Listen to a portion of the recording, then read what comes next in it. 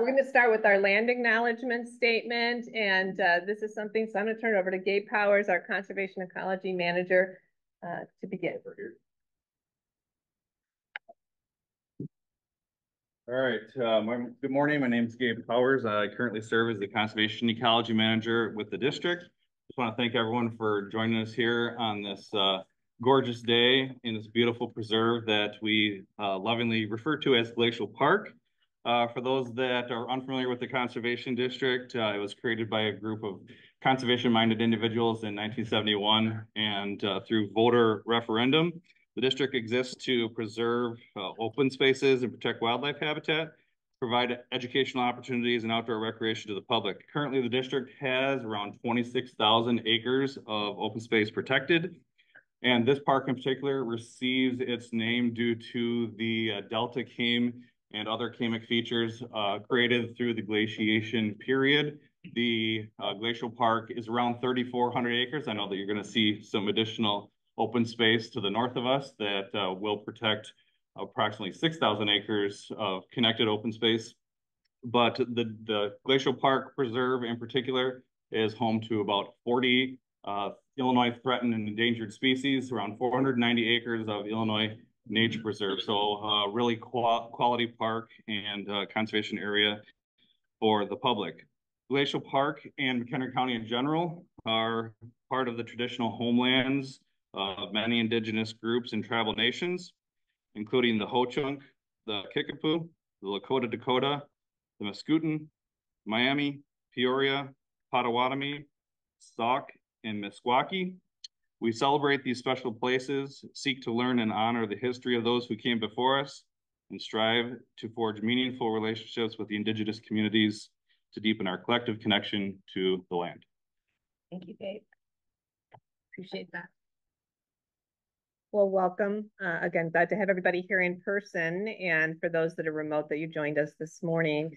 Um, we'll go ahead and start with introductions and we'll start here going around the room and then uh, we'll get everyone on home that's at, at home to be able to share uh, where you're from uh, as part of our partner introduction. So Mark, I'll turn to you, please. Hey, I'm Mark Bowman uh, with the Field Museum, and I also serve as treasurer for the Alliance. Yeah. Thanks, Mark. Uh, John Wassick, Lake County Forest Preserve and Lake County Board. Um. Oh, yeah, unless you want to know more. Uh, Cynthia Canner, Executive Director of Prairie State Conservation Coalition and the McHenry County resident.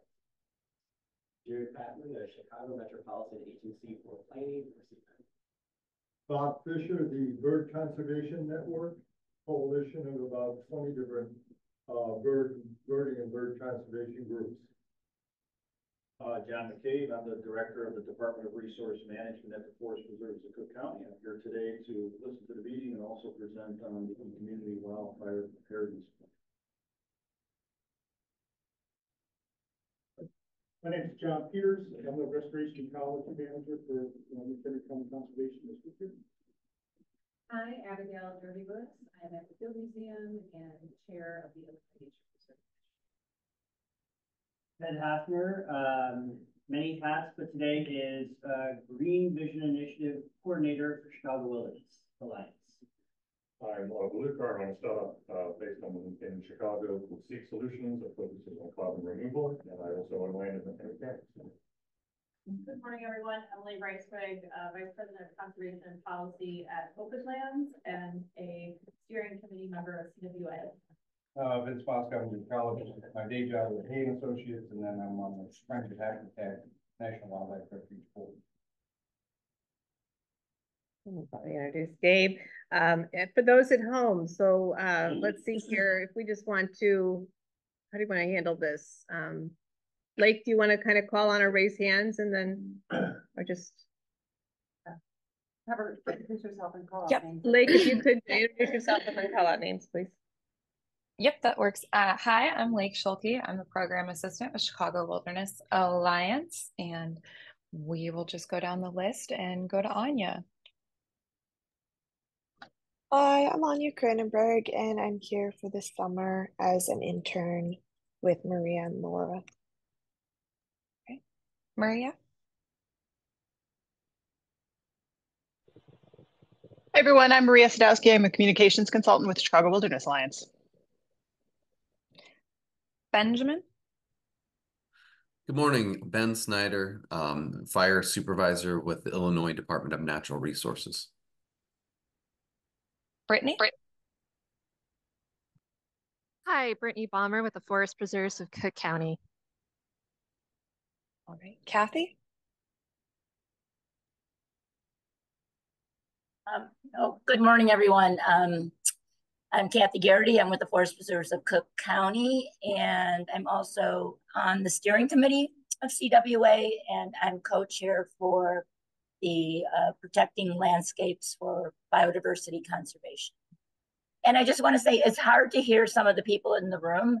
Elizabeth, it's really hear, easy to hear you, but others are hard to hear. Thank you, Kathy. I'm right by the speakers. That's, Okay. that's why. All right. Daniel? Good morning, everybody. Daniel Suarez, Senior Conservation Manager with Audubon Great Lakes and also co-chair of the CWA Ag Team. Diana? Good morning, everyone. My name is Diana Krug. I'm with the Forest Preserve District of Cook County. All right. Jack? Hi there, um, Jack Brunner with Tetra Tech, also uh, working on the uh, CWA mapping hub team as well. Hi, Everybody. Jane? Good morning, Jane McBride. I'm an individual member, but I'm also state representative for Project Coyote. Um, Madeline? Hi, good morning. I'm um, Madeline Tudor with the Keller Science Action Center at the Field Museum, and I'm um, working on the CWA Cap'n project to center um, Native voices and Native communities in in that project. Happy to be here. All right. Noreen? Good morning, everyone. I'm uh, Noreen Rana, Senior Project Manager with Chicago Park District's Natural Areas team. All right. Victoria? Good morning, everyone. Victoria Wittig. I'm the ambassador of the Northwest Indiana Urban Waters Federal Partnership and currently serve as vice chair of the Alliance. Okay. Lindsay? Hi, good morning. Lindsay Vasek. I'm with ComEd. I lead our uh, stewardship and biodiversity initiatives. Okay. And then we have an iPhone in here, but Lindsay, I think that is, was that you? I think it's me. Yeah, I'm, I'm logged in both computer and, and phone. Sorry about that. Nope, you're good. Just didn't want to miss anybody. All right. Thank you, Lake and Sergio. it. Sergio. Yeah, I just walked in. Uh, Minister Vargas, I'm the Chicago Land Conservation Manager, uh, with the Illinois Fire National Council. Uh, thank you guys for. Wonderful. And we, I think we've gotten around. Laura, did you want to do an Oh, introduction? Laura Riley, Managing Director of Chicago Wilderness Alliance. Nice to see you all. Wonderful. Thank you so much here. So I'm going to try to tag team here. I believe the next item that we have is the uh, shared agreements that we have adopted as part of our meeting protocol. Um, just, and these are very simple, uh, just to remind everyone again to be present, actively listen and participate, uh, giving others the opportunity to speak. We'll follow our agenda for today. And it's really important to ask clarifying questions because we're here to have a great dialogue and everybody's thoughts and opinions are really important. So thank you for being part of this.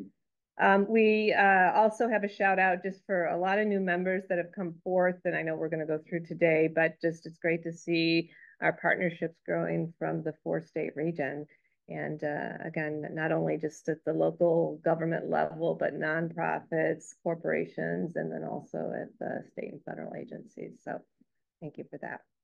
So the first thing of business uh, for our agenda today, um, if there are any agendas to be added to today's agenda, otherwise I'll take a motion to accept the agenda as presented. I'm having a hard time finding the link to the agenda. Link to the agenda, okay. Can you drop right. it in the Yeah. Chat. Or Can you drop the link to the chat? Is everybody else able to follow us on the, um, Yep, Laura sent it yesterday. Oh, you did send it yesterday. It's in the message, the email message from. Got it. I'll, I'll find it. Thank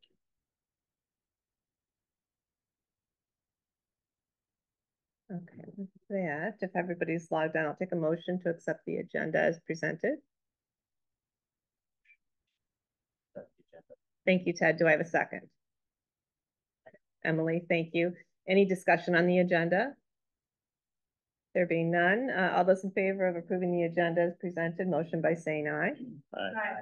Aye. Those opposed, nay. Sorry, we're wait, We'll have to wait for everybody at home. Thank you. Are you able to hear us okay? Yes. Wonderful, thank you. All right, um, the next order of business we have is our consent agenda, and, uh, just to go over in details here, so I think the first slide you have is we have new partners.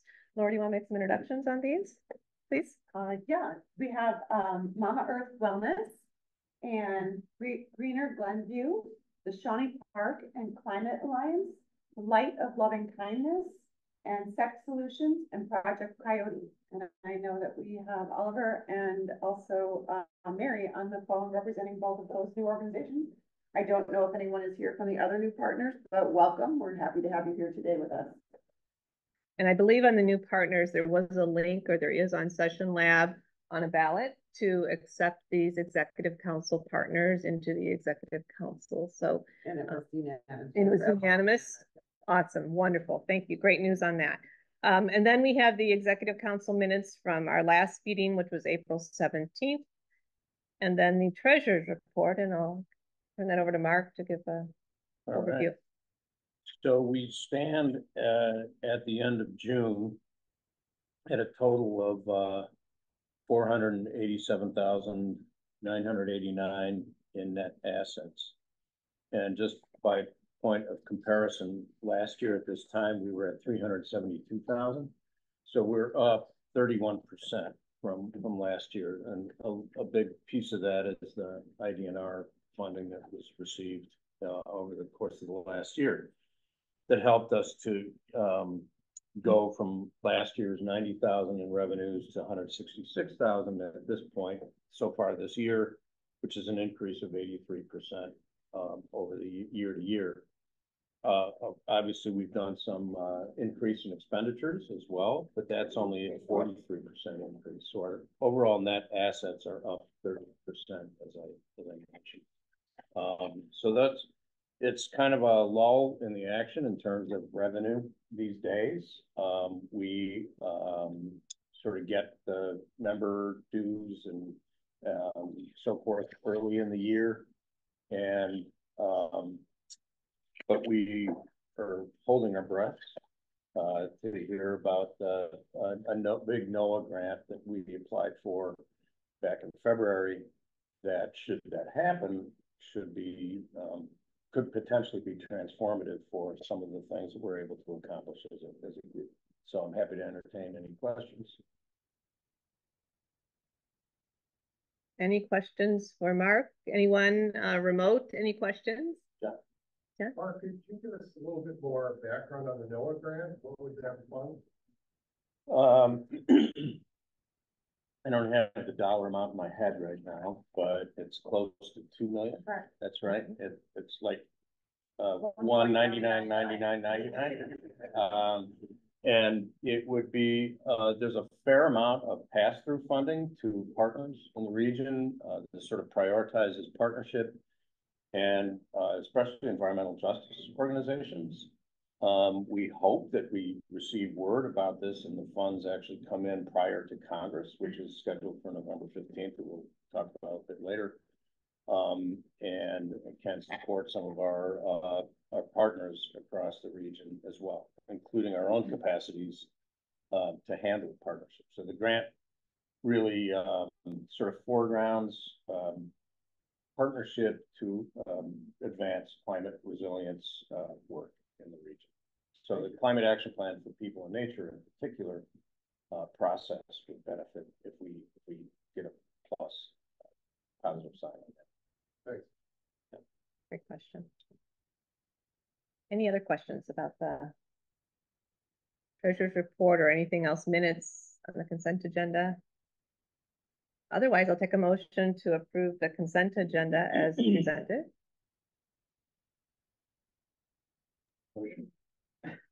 Okay, so I'll take a motion uh, from Emily and a second by Ted. Uh, any further discussion? There being none, all those in favor, motion by saying aye. Aye. Those opposed, nay. Okay, consent agenda is approved unanimously. Um, we're next going to, uh, we did move things forward from maybe where you logged on earlier in the week of our agenda today, and we're gonna go into our strategic advancement of our work streams with the GVI, the Green Vision Initiatives. Um, and Ted Hafner, who is our GVI coordinator, um, will be going through all of that. Good morning, everybody. I am here under a, a couple different capacities uh, that sort of intermingle with one another. This work started uh, with me as the, the head of the climate initiative um, and, and sort of continues uh, as a coordinator for the goal team initiatives. Um, next slide, please. So some of this may be familiar. Uh, a lot of this is lessons learned from the leadership of the goal initiative, but then my last few months uh, and first few months as the coordinator for the GVI leads. And, and this is uh, some strategies through conversations that we've had uh, looking for various goal team leads uh, or co-leads as support um, because we're finding capacity is an issue, uh, as well as uh, some, some funding conversations and larger umbrella themes like climate, water, um, and, and things like that. Uh, so this slide should not be uh, unfamiliar to you. It may be a bit outdated, but but um, really it, it talks about sort of the, the rejuvenation of Chicago wilderness into uh, a network of uh, partners, right? So uh, why, what, where, who, and how. Uh, this was the foundation of moving from the goal creation a couple years ago and into action. Um, and, and we're really sort of approaching Chicago Wilderness as a network of partners that all share information, convene, and, and uh, scramble for resources, which um, that mindset has sort of been uh, really one of scarcity. And we're trying to actually not make it one of scarcity. Uh, because we have fantastic work and fantastic ideas and fantastic partner projects. And, and so what we're going to talk about today is what I've heard and, and some ways to sort of think about moving forward uh, through the discussion portion of this panel. Laura, next slide, please. Okay, so this uh, should may be unfamiliar to some of you, but I have actually showed this slide a number of times over the last couple of years. And uh, this came out of the goal creation for the climate initiative. Um, all teams were asked to create goals at the during 2021, 2022, uh, for 2025, 2030. Um, this is my team's climate map that shows all of our goals here uh, for adaptation, mitigation, justice, and community. So, uh, you know, community-based projects, things like that uh, advocacy and education.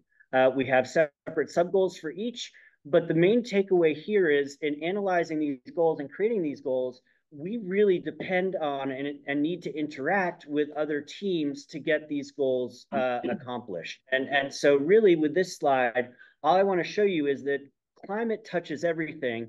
And through recent conversations, we're finding climate isn't alone in that discussion with water, ag, and virtually all of the goal.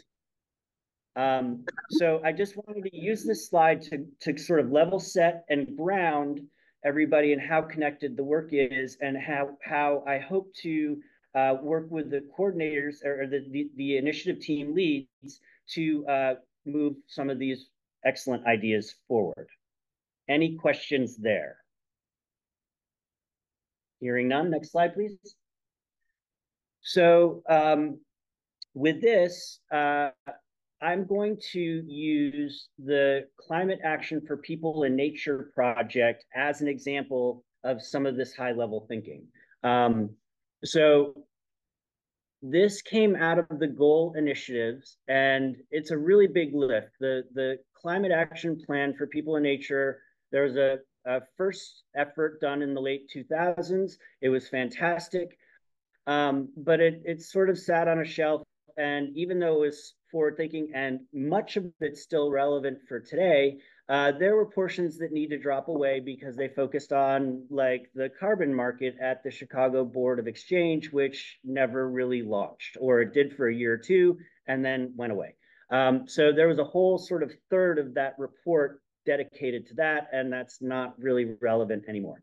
Um, so it, it, it became sort of front and center to revise this plan. And, and as we started thinking about the nature of the geography and the communities and the sectors in the places that we all live and play, we really realized we needed a different approach. And I'm going to go through that approach with you because I think it sort of mirrors how, CWA writ large should be thinking about some of our work in general. Um, so this began uh, as a, um, a project that was supported, the second effort, uh, that was supported by some very large and awesome partners of ours, uh, Nature Conservancy, the Field Museum, Morton Arboretum, and Open Lands. Um, and and uh, we really want to take the volunteer support from the goal teams to feed into this, as well as uh, communities in and around the region. Um, so we're looking, and the big pivot here is the first report was authored by heavies within CWA partnership, right? Um, we want to sort of tip that on its head and, and take it out to the public and, and get as many community co-authors as we can under the auspices that they know their communities the best, they know what they need. Uh, if we can bring them together holistically and collaboratively, then we can start to sort out some of these problems and direct the resources to the right places and, and the right communities that are most in need and most vulnerable to heat, flooding, air quality, that kind of thing. Um, so the the uh, the open the first seed funding uh, came from the partners listed, uh, and and we're hoping to create this living document but we're still sort of figuring that out. Uh, next slide, please. So, oh yes, there, and you see these waves that sort of overlap and intersect as they pop up on the screen. Uh, can we keep pushing those buttons to see what else happens? Excellent. So it started in 2010, right? It sort of sat until recently, and then all of a sudden, there's been a lot of energy uh, in these different waves from different communities, different sectors, different uh, areas of practice, if you will, from water to ag, uh, protection, maintenance, all the goal groups. Um, next slide, please.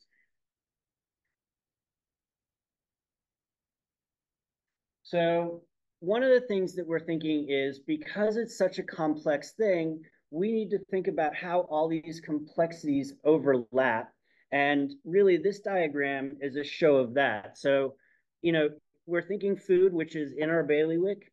Um, now, climate change, certainly biodiversity is way in our bailiwick. Um, and then environmental justice, that's sort of new to us, uh, at least as a focus and a, a driver of this work. And really, uh, it's all sort of knit together by public health, right?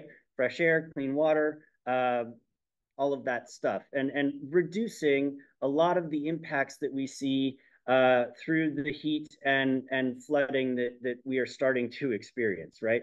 Um, I was just talking to a friend yesterday, excuse me, where um, because of the change of the heat, he is having breathing problems. He's not asthmatic, but he is having like congestion problems going from hot to cold, hot to cold, hot to cold. And he went to his doctor. His doctor said, You're fine. I can give you antibiotics. He's like, No, no, no, if I'm fine.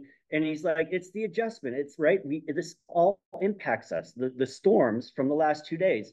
Downtown Cook County, um, Chicago, tornado warnings last three nights ago for two nights in a row. Um, twisters have touched down. They haven't, they're still doing the data analysis, but this is all a driver of, of the things that we're starting to face and, and how, how we deal with this as a community is really what we're, I'm thinking and hearing is what we're all about. Next slide, please. So the main takeaway is what's different, this intersectional thinking. Not that the first one wasn't intersectional thinking, but like I said, it focused on the carbon market, it focused on biodiversity, and really uh, the primary focus was on land and conservation health, right? It left out all these other big, big pictures. And that's a shame because it's so all consuming that we really need these different voices, different understandings, right?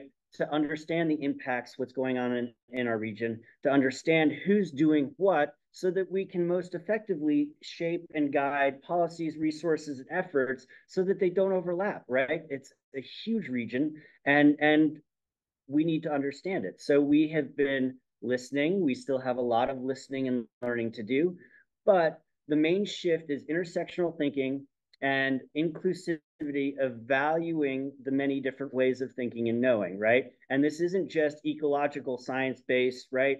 It is more social science that we want to bring in. It's also traditional ecological knowledge and indigenous knowledge and generations of knowledge that are passed down orally or through family traditions or community traditions that we haven't, as scientists, uh, focused on in the climate arena to date. So that's what's different this time, and that's what we hope to accomplish. And in my first three months as G, uh, G, GVI coordinator, um, that's what I'm hearing is needed. The, the problem is now we need to make a bigger tent, right? And how do we do that? Uh, next slide, please. Yeah, you're gonna have to click a bunch of times again. Keep going. And more. That's okay. Um, so in 2023, we started convening um, under the auspices of this community-based work. Who should we be talking to? Who's doing what that's interesting? Uh, what do we need to learn? How do we relate to everybody in the geography uh, despite our different backgrounds, different approaches, different professions, right?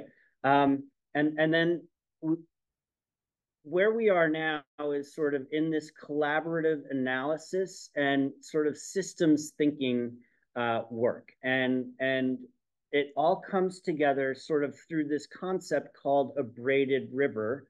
Next slide, please. Which looks something like this. And the idea here is is that there's sort of this main body of thematic topics that get added to as tributaries come in, um, right? There are different parts of the system that may have independent operators or people that we don't know that we want to engage. Um, and, and we're taking this both as a concept for organization, but also as a way to drive the work forward in terms of timeline schedules and work streams. Um, so while this is sort of a figurative um, example and cartoon of what we hope to do, I think it's really elegant way to try to describe this sort of work in ways that at least we can understand. And I think most people can understand because they understand rivers and flow of water and how things feed into and become bigger and bigger and bigger. Uh, next slide, please. So what we have done to date um, is we have started listening. Uh, the Field Museum has been very instrumental in supporting this work, as have all those five main partners. But but now it's time to start branching out and and doing the work and taking away from us and learning from everybody else so that it can be co-created. Uh, to that end, we have engaged uh, Seva Gandhi and her firm Collaborative Connections to help organize this work. And we are in conversations right now about who's missing from the table, brainstorming communities, like there are 30 people in this meeting and we're putting post-its and who's inner circle, who's outer circle, who do we not know yet, all of that. Um, but, but this is sort of Zeva's work to date and these conversations are ongoing to try to activate and get out to the communities who is the audience that we really want to support because they're facing all of these impacts on the ground. And what we're finding is that because of the pandemic, there's so much more value and importance placed and interest placed on open space, communal gathering, um, as well as, you know, we recognize now that mature trees actually can provide a service for both flood relief, heat relief, uh, but our cities aren't designed that way. So how do we do that? How do we drive these things forward, whether it's trees, water, uh, protecting land, mapping, data, the whole kit and caboodle, right? So this is some of the thinking. And what Zeva is really trying to drive home is that alignment is key. And so um, what we've been doing over the past couple months is aligning ourselves to get on the same page before we go out to request uh, community uh, co-authorship and participation. But that is happening and it's moving forward. And, and I see this as sort of a microcosm of what CWA is trying to do writ large and, and what I'm trying to do with the GVI coordinators to move a lot of the excellent work forward, whether it's CWA based or whether it's partner based and, and deserves to be brought up and lifted up and supported. Um, next slide, please. So I'm going to switch a little bit. It's still related, but uh, this is where we get into your question about the NOAA grant a little bit. Um, we applied to the grant about a year ago. It was a two round grant. The first round was a pretty heavy lift, but it was only a five page summary. Um, the second round was a much heavier lift. And I thought it was a really good example uh, of how CWA could come together to support regional work, as Mark talked about, to provide pass throughs, community support, as well as further our, uh, enabling the furtherance of our own thinking and efforts to coordinate and move all of the goal teamwork forward.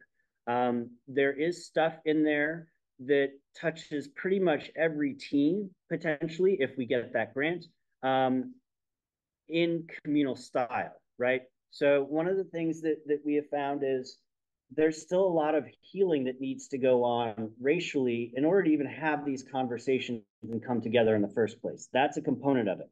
Um, what we're thinking about with the CAPN and moving that forward is, is these community workshops, right? There's money to hold these community workshops because you need to rent a facility, you need to provide good food to get people there, um, and all of that.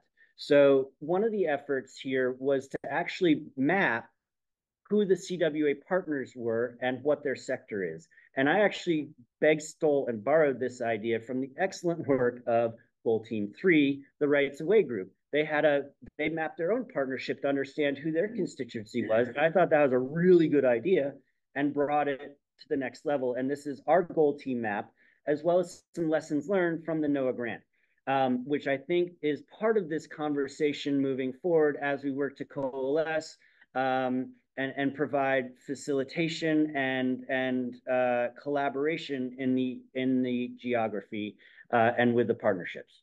So the main thing is we learned that we need to understand the grant and the materials required. Uh, I wouldn't say that we didn't have experience, but it was a heavy lift because we were kind of naive in that respect. Uh, we could have been a lot more focused going into it, even though I thought we did really, really fantastic work. We sort of did that in the process, and that was not ideal. Um, alignment uh, of the ideas to the grant is great, right? Uh, part of the problem is grants are so complex these days that you don't know how you fit in or even if you're eligible, right? So having an understanding of that is key. Question? Yeah, uh, out of ignorance, the the map itself, my presumption is the, the, the big dot is the issue or concern. This and is the little dots around it are the organizations that are heavily focused on that issue or concern? Is that So it- you're almost right, and we haven't gotten there yet. This is just Chicago Wilderness is the blue dot, and then the different sectors are different colors. Sorry. Um, so yellow is the public utility partnerships. Uh, green is the governmental uh, sector partnerships from federal to county to local. Um, red is uh, So the central dot isn't the issue, it's just a. it, this is a, a partner map of the alliance to understand who we had, what sectors there were, so that we could go out to gain uh, support for this communal thinking an idea, right? Who do we need to to think about? How do we do it? And who do who what partnerships are important to this right now? Does and and I think the next step is to take this and organize it then by issue and who might play in that sandbox, if that makes sense. Other questions, since we're at a stopping point? Nope, okay. Um, so the other thing that we learned was we had a, a loose understanding of what we wanted to do, but not a great idea of the partnerships, the budgets, um, scope, scale, uh, and all of that, right? Very practical considerations that any funder would want to know. We had great notions about that, but when it came to sitting down and saying, okay, who gets what and how are we actually going to leverage this for activation, we needed to do a lot of deeper thinking that we kind of were prepared for, but again, it kind of got made up along the way the best we could. Um, and then what we also found is that we have to understand the intangibles. Uh, what are the Justice 40 communities that the federal government is really putting a lot of their uh, efforts and, and focus on to include so that these resources actually hit the ground in the right way? Uh, any federal grant these days and most state grants, because they're following the federal leads, um, are are requiring uh, like a 40 or 48 percent of the the project scope to be going towards those communities. Um, they're emphasizing now very much like our thinking, uh, partnership and co-creation, right? That was great for us to learn because it shows that our thinking was actually right on the right path. It's just really difficult to do. Um, the other thing we found, and this is not rocket science to anybody that's written grants, is, is to move multiple uh, initiatives forward with one idea, right? Um, emphasize the, the many benefits that go into this with one effort and, and how we can solve problems like that. Um, and then uh, we have a created and talented writing team that thinks that we have a couple more of these big scale NOAA type grants in us, which is fantastic because as a coordinator, um, even if we're successful with NOAA or not, we're going to do this stuff. But I'd like to actually take this learning and apply it to other goal team initiatives, whether it's prescribed fire, whether it's agriculture and community connections, whether it's land protection, water, uh, and the like. Um, so those are some of the lessons learned that are in the back of my mind as I think about coordination and as we think about how CWA should move forward with its work and resource allocation and support for partners and moving this network forward. Uh, next slide, please. So what are some of the tools that we have? We have a grants project and tracking spreadsheet. We have had this grants project and tracking spreadsheet for a year and a half now. Very few people have gone in and actually put their ideas into it uh, for various reasons. Capacity is one of them. Maybe institutionalization of this tool is another. Um, the third is maybe competition instead of cooperation, right? We all work for our own organizations. They have their own interests.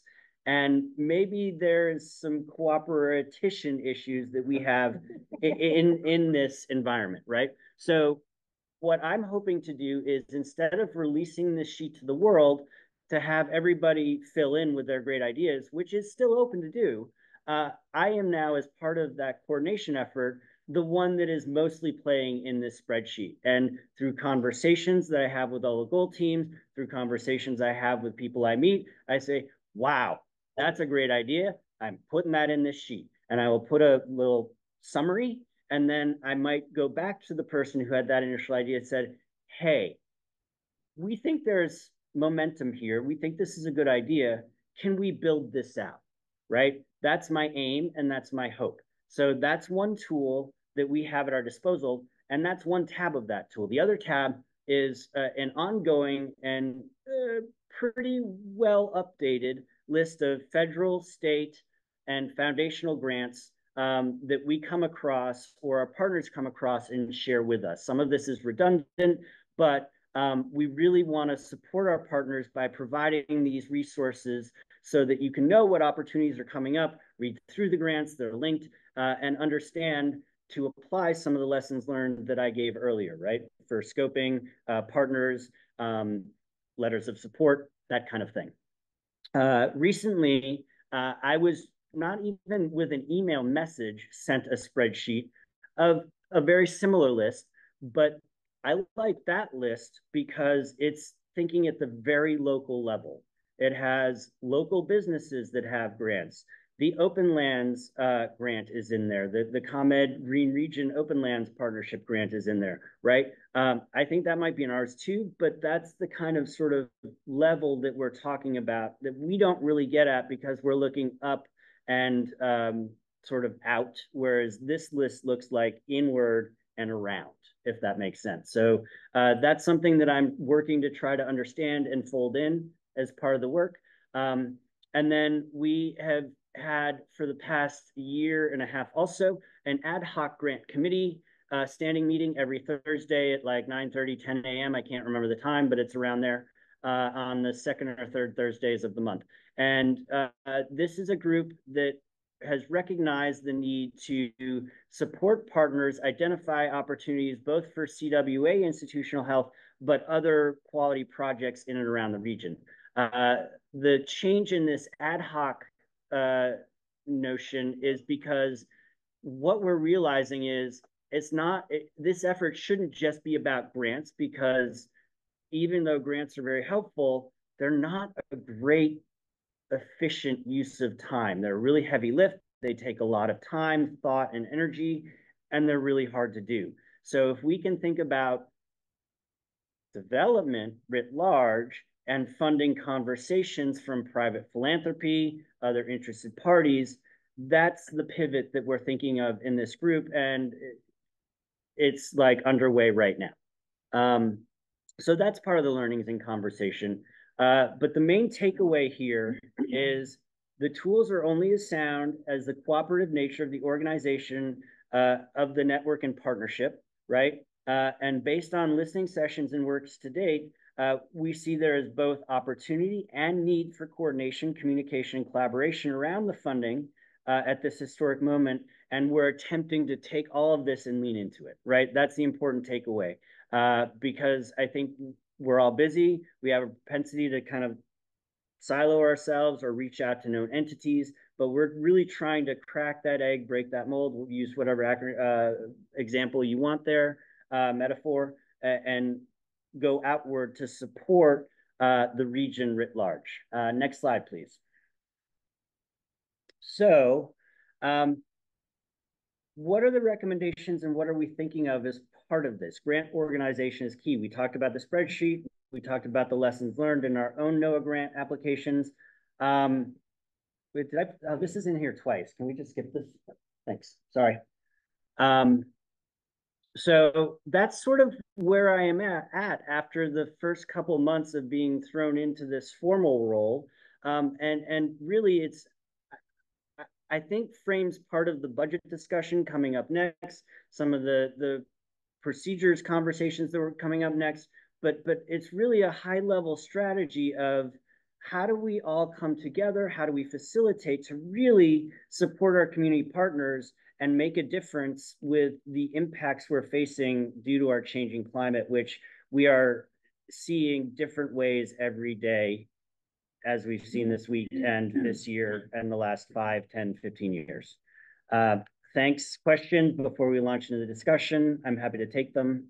Uh, but I, you know, I wanted to sort of use this opportunity to, to level set, hear what I've heard over the last few months and, and give some thoughts about moving forward through conversations that, you know, Elizabeth had been part of, uh, Laura, Mark, and many of you at the, the table here and, and on the screen. Yes, sir. I, I like the work you've done, and it's, it's really very fundamental what we need to do here. But, um, how do you see the role of government in, in your network scheme? I, I saw some, some plotted points off to the left, and as elected official, I can tell you there's, there's profound need for us to connect outside of our silos, which is, you know, it's a, it's a kind of a small world, but we need to be working with groups in this room and we have worked with Openlands and it's got a great relationship thus far. We need to work with more groups. And I like your idea of the spreadsheet. I was just doing this yesterday, referring to nonprofits to a, a source that was sort of a, a listing of federal grants. So, you know, having been to Washington and done lobbying, I can tell you that there's a lot out there still. I mean, when the IRA first came out, there were like more than three hundred grant opportunities, but they were all with like separate departments with separate application Right. procedures. And, you know, in government, we have kind of a competitive advantage because we have grant writers, we have lobbyists, we have access to these people, but still. Okay, It's a lot. it is a lot. And I'm gonna answer, try to answer your question in a couple different ways through a couple of the different hats that I wear in addition to this one. Um, I too have been to Washington over the past decade several times to lobby for conservation causes and climate change resilience, right? Um, through various organizations. Since the pandemic, I have witnessed a, a shift in those conversations and the reception of our group. Before we go, I'd be glad handing, oh, nice to see you. I love my parks. I love, I, I love conservancies, right? They wouldn't even get the names right. Now they're like, oh, you have data, you have ideas, let's sit down and talk. So first of all, there needs to be a shift in willingness. And I think that shift is underway slowly, but there is a shift, at least at the federal level, uh, that I have seen. And, and I've been to Springfield a couple times. That's even crazier. I don't know about that yet. Um, so that's one answer is the opportunity and availability to have these conversations received, right? Um, and I think that's switching and that's an opportunity and, and that's a great one. Um, number two, there are, um, we have a, we have a, a, a CWA, uh, a governance committee, uh, not a governance committee, but a, what's advocacy committee. They send out alerts, um, that any partner can submit to the whole network with, you know, the standard write-up of contact your local official, here's a template, or here's what we've said, revise it as you see fit, right, for this issue. Um, we use that often. Anytime a partner wants it, they can fill that out and it gets at, sent to the all the partners in the network, right? So that's a tool that we have at our disposal, and that's a pretty effective one that we use probably not often enough, but we use when we can, um, both internally and externally. So number two. Number three, uh, we're going to start getting into the weeds of the goal initiatives per se. So um, we have that a member of that group on the climate committee. So she looks out for our actions as in her day hat at TNC, right? Because she's on their GR committee and she does this as her job. So she does it for TNC, but she also does it for Chicago Wilderness as well. And that's how we talk. Um, there are a couple other folks on that committee that operate the same way. So, so that's a threading connection. Uh, but really through the goal teams, I'm finding that through ag, there's a big policy um, opportunity. And, and here's big news here. Uh, thanks to Tim's work as the head of the ag committee or co-lead with Dan, Daniel Suarez, um, they launched this idea of having a couple workshops for Will County on Will County quality of life uh, for small uh, agricultural owners and operators, right? Uh, this has been small conversations, town hall meetings over the past couple years. Uh, two weeks ago, the Will County Board approved a resolution for this Good Food for All program that came out of these workshops. That then went to the NACO meeting, and the NACO is the National Association of Counties. There last weekend. So you heard it, it passed, right? Okay, it did. We heard that Friday. Now, I got an email yesterday that the lieutenant governor, based on this effort, is interested at coming to the table now. So that's how we hope to leverage this through the goal groups. It's multi-efforted, multi-pronged. We haven't even gotten into IC yet, uh, right, Sergio? So um, there are opportunities there. I just, right, it is, it's multi-pronged and complex, but these are some of the ways that we're thinking. Now, there's the whole other aspect of the lessons learned when we went out for the NOAA grant that uh, letters of support from elected representatives are hugely beneficial to an application, right? So that's an opportunity that we were able to cobble together two or three of those. But if you can get to a state rep or your uh, congressional federal representative, that's a big opportunity to have these conversations and move this forward and break down some of those silos that you're talking about.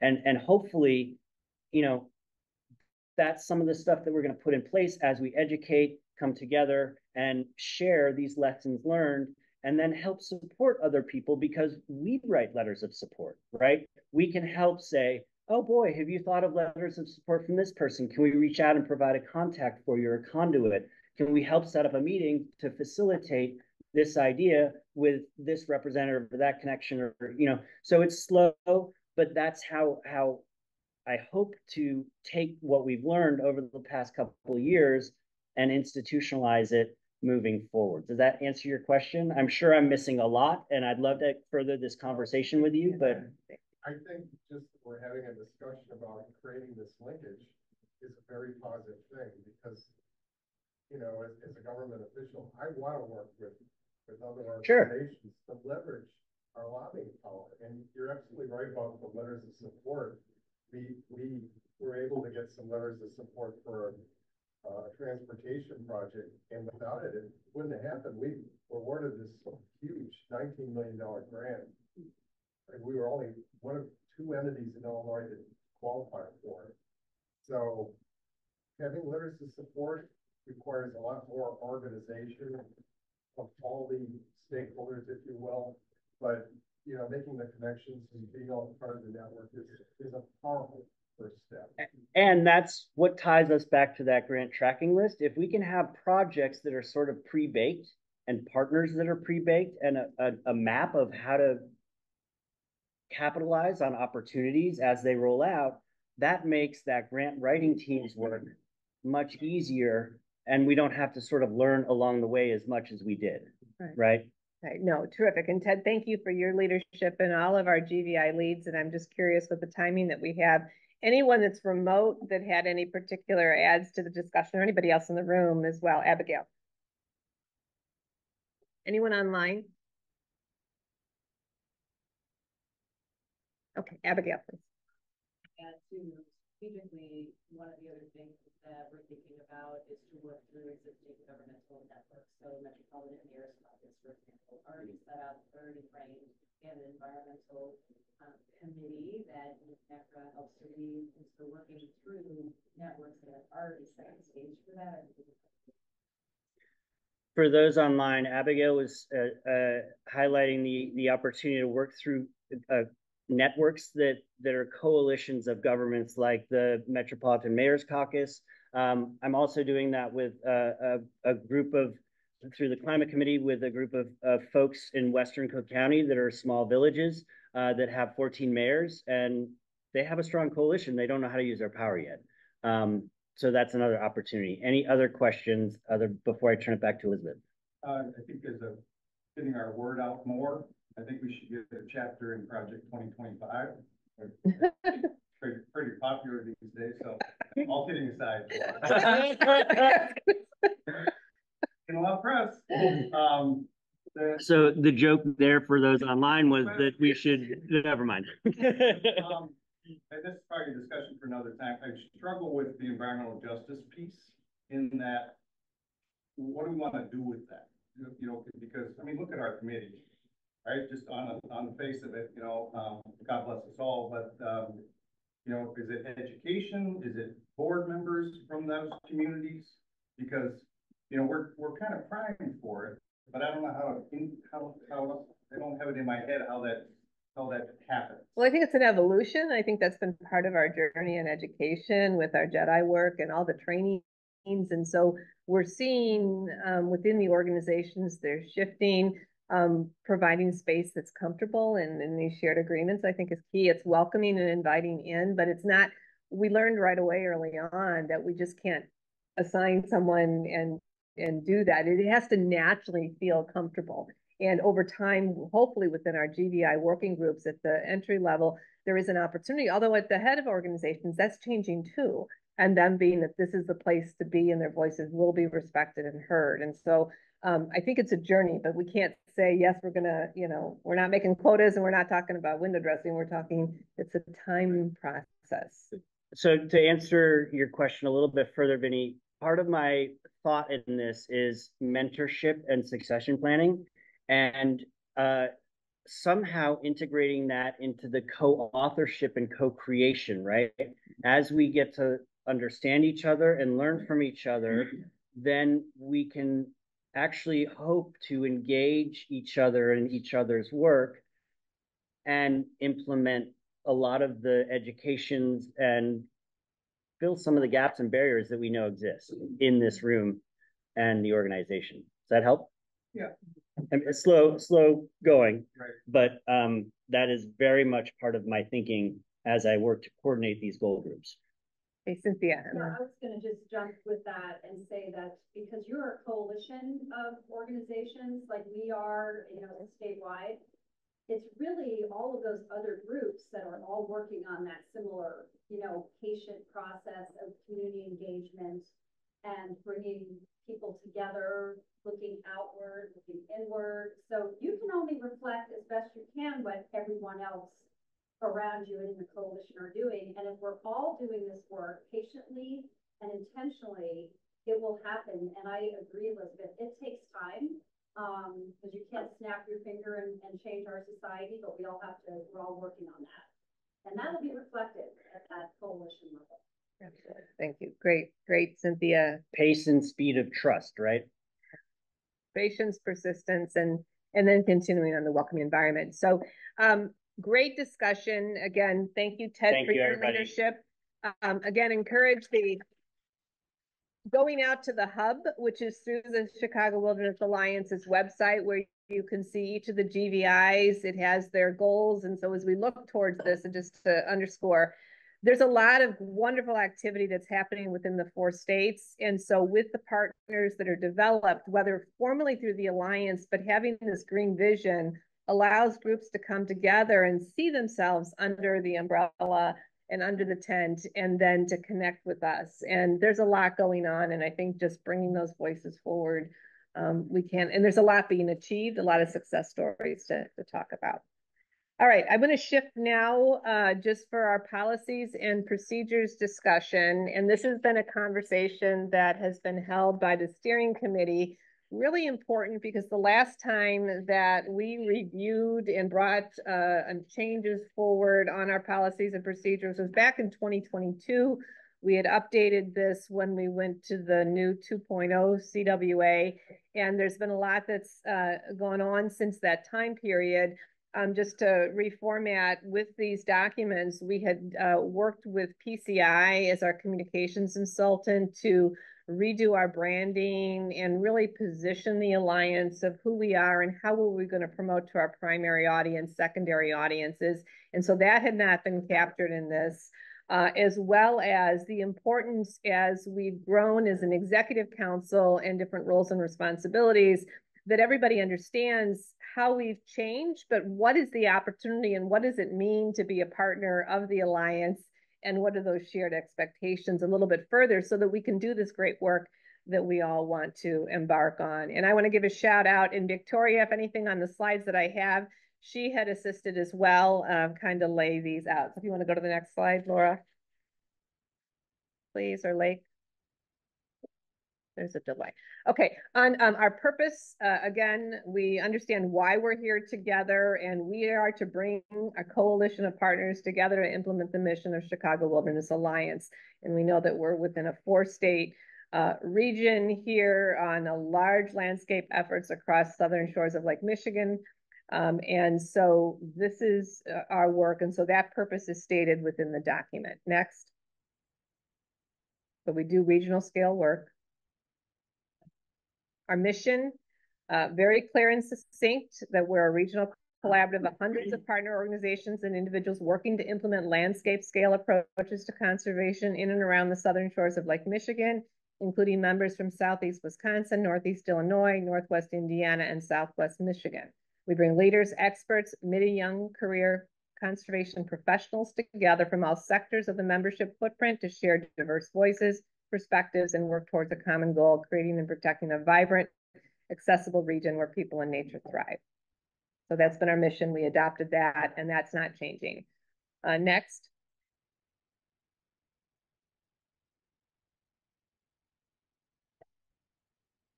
Our green vision. Sorry, there's a delay on my screen here. Um, and so this is our vision. Our vision, which we've been talking about, is our seven initiatives um, that we are working towards. And then, of course, our hub that connects us all together. So this is our focus, and this is what the Alliance has been working on. And so there's no proposed changes there as far as what has been identified. Next. Okay. On this, I want to just highlight uh, in brief, and this may be difficult for you to, to see there, but it is available and it is in the policy document that everybody should have had um, to review, and that is available. And what we're doing today is uh, a first reading for discussion. So we're not approving any amendments today, but I want you to take this back to your organization, be contemplative, have discussions. If there's areas to which you want to provide feedback to, then be able to do so. And then we will bring this document hopefully back in October and have it amended to reflect how we want the council to be. But as executive council members, first and foremost is attendance at these meetings quarterly. We meet four times a year. Um, we have shifted during COVID into a hybrid or online version um, of the meetings. And like today, we're doing home and together, um, where we used to always come together in person. Um, so one of the commitments is that you provide yourself or a delegate to be present with your partner organization and you're leaning in to help. Um, we also look that you're reviewing um, our alliance's purpose, mission, and green vision, and if some adjustments need to be made, that you speak that out to the group and that we're able to modify. Um, the executive council, you set the strategic focus of the alliance in our direction. I mean, that's our purpose. We do this together. And then you implement the strategies of the alliance. So it's not an assignment. We are fortunate enough to have a managing director Laura Riley, who's been guiding, and we've hired on Lake and Maria doing our consulting, but our work, our implementation is due to the strength of our partners. And really, we've identified the importance of getting the executive directors, the CEOs, the presidents of the organizations to roll up their sleeves and make it part of their team's work plan to, this is important. If this is important, then we need to have everybody participating to implement. And then uh, determining the objectives, our annual operations plan of how resource, that is something that this group as a body is expected to do. Next slide, please. Um, the uh, executive council, this body is the governance body, and so you are approving the leadership of existing teams, co-leads. Um, that is a responsibility um, admitting new partners like we did today. You voted on our new executive council members to be part of our work. Um, you develop key strategies with external relationships, as you saw the mapping of who we need to be reaching out to and connecting. And then accepting the reports that are coming from the Green Vision teams, our corporate council, or standing other administrative groups. Um, this group receives all those reports and it's kind of the pass through here um, from this group. And then also this body is the responsible body for our branding of our, our, our, logo and how it's used and how we approve and work with our sponsors. Next slide, please. Um, at the October meeting, you're going to hear about our budget shortly, but one of the roles is to approve our, our project budget, our annual operating budget, and any grants that we are pursuing. Um, a role is to monitor our projects and to task how we're doing and achieving our goals and holding all of ourselves accountable towards that. Um, and then one of the other areas we have our awards committee, the George B. Rabb Force of Nature Awards and the Excellence in Ecological Restoration Program. And the Executive Council does review what is submitted and approve those designations uh, for acknowledgement and recognition. Setting policies of operational guidelines through reviewing our policies and procedures document, because this is the group that has to amend those, those procedures. And then accepting the treasurer's report. We had that on the consent agenda today so that we're financially sound and in good standing. Um, next slide, please. The approval of our council meetings when we come together. That's the responsibility of this body.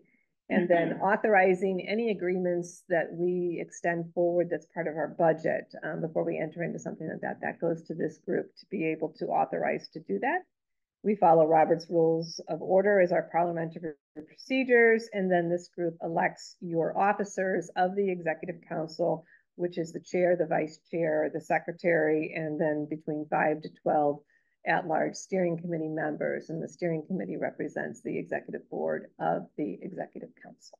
Okay, so really in standing, that is, that is, there's no changes that have been made to that. Those are the roles that the executive council has, but we want to make sure that it's not a small group of partners that are facilitating all of this, that that bringing together those four times a year, this is where we do the work and the business of the of the Chicago Wilderness Alliance and then as the committees do their work, um, it, it comes all together. It folds back into to this group. Okay, so really important that you're here and glad that you are. Any questions about that? All right, we do have existing standing committees, and these committees have not changed with the exception of the Green Vision Initiative Coordinating Group. We used to have a coordinating council now with uh, Ted's leadership and the GVI co-leads coming together, that kind of has assumed what used to be. And so that's helping task to make sure that we're working towards our goals. Um, some of these groups, for example, the um, development committee, we have a grants committee. It really is the development committee. That's the group that's doing that. Some of these, we do not have leadership um, championing this, and it's our goal to align a steering committee member to be an accountable person, but also we're looking for leadership to step up and help us guide um, some of these initiatives. Um, some are in good hands, but uh, for example, a communications committee, that has been one with Maria, Laura, and Lake, uh, and then others from our organizations. We could really tap into some communication professionals within your organizations that would be willing to help drive our messaging and take PCI left us a lot of recommendations. We just have not been able to move them forward in their full breadth because of just capacity. Yes. Question. The Excellence in Ecological Restoration Commission, is that a, I guess I'll say, would another term for it be uh, best or beneficial management practices? Is that the, the purpose of that group? So there is an accreditation, uh, site accreditation program um, that goes out to particular sites and evaluates where an organization, where a land, a large land holding has a, you know, best management practices put into practice. And this commission goes out, they do a site review, and then they honor either four levels, platinum, you know, bronze, gold, I got an olive or silver, the four, four levels of commitment, and then that's awarded. And then that site is designated, designated by Chicago Wilderness Alliance. And so there are uh, individual representation, that that's an active group. Um, we'd love to see more organizations get their sites accredited with this branding because um, it reflects back into our GVI work. It reflects back into our biodiversity plan, all the great work. Um, so yes, best management practices. All right, next slide, please.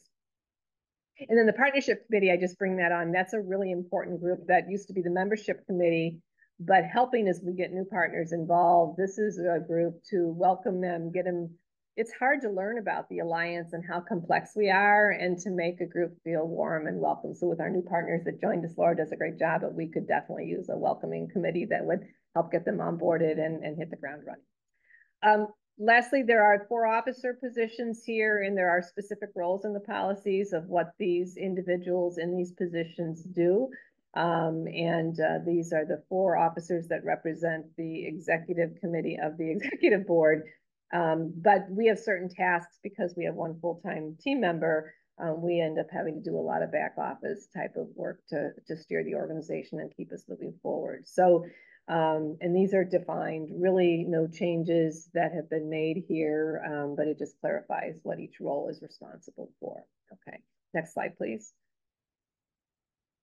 And then at-large steering committee members, um, they help to coordinate as well. They provide leadership in helping us advance these initiatives. They act as liaisons to the different committees and help champion and to, to be a representation of, of the alliance going forward. So there's no changes there beyond the upgrade does have us including up to 12 steering committee members uh, for that.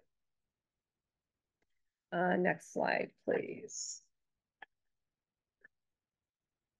And um, two areas that we did modify last time was a difference between general partners and executive council partners. One of the things that we learned was the barriers of participation where we do have a suggested uh, partnership contribution level, but at no time is any organization um, denied being involved with the alliance for not ability to pay. So we've eliminated those barriers. However, at the general partner level, the expectations, I guess the difference just in contrast, we still are engaging. They're invited to be involved with our working teams. They're invited to come to these meetings. But when we're an executive council partner, we're going to increase a little bit, not necessarily the ability to pay, um, but your contributions. The expectation is your organization is helping to advance these initiatives forward. Your attendance at these meetings, you're helping to lead the movement. So you're taking a more actively involved to be part of the body that's that's shaping this organization, right? So it's really there is a difference there. And it's great to see so many partners at executive council. And so our focus is really that we want to make sure that those executives, those organizations, that they're sending delegates, that they're present, because we have a lot of partners, but sometimes at these council meetings, we've seen a little bit just based on time and priorities, it dwindling. And we want to put the focus in and set these meetings up so that it's engaging, your time is valuable, but your time present is really important. And I think those individual partnership relationships that have been made will help foster these new projects and initiatives and, and keep things going. All right, we also on here discussed term limits. Um, so that was an open discussion, but I guess I would just open the floor on this. If there were any areas of concern, any uh, discussionable items that anybody would like to bring forward for first reading that we should take under consideration. Most of it was cleanup of just adding the PCI language.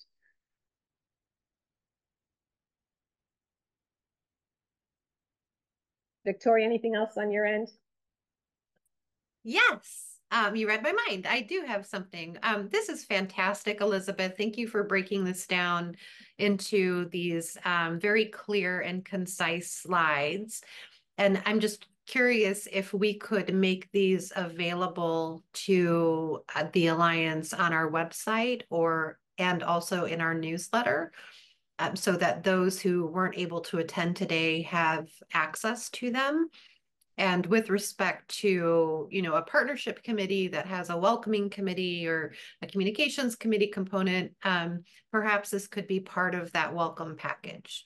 Um, I just, I really appreciate the work that you've put into um, creating these slides. They're very clear, concise, and I think will be super helpful for folks that are newer to the Alliance to understand you know, the roles and responsibilities of executive council partners as compared to general partners.